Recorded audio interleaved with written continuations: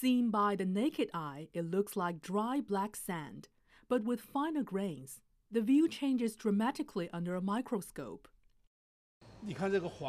You can see the yellow ones in view are mostly olivine, brown ones are usually glass, white normally means it's plagioclase, and some dark ones are generally pyroxene.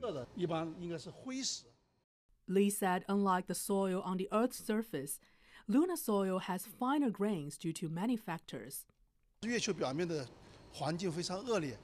The environment on the surface of the moon is very harsh. With a temperature difference of about 340 degrees Celsius, the rocks constantly undergo thermal expansion and contraction that results in disintegration.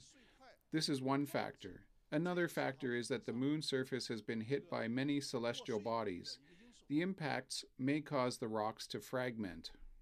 Since the moon has no magnetic field, the solar wind can directly bombard the lunar surface, which gradually results in the rocks fragmenting or even powdering.